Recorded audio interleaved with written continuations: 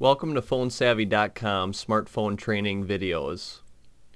To turn off the vibration when typing, from your home screen select the menu button located right here at the bottom of your phone, and then select Settings.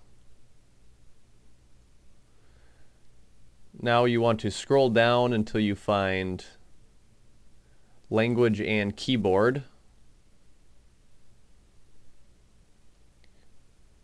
And then select touch input.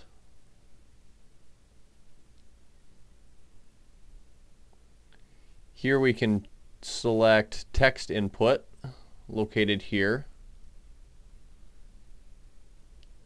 And the vibrate when typing option is located here.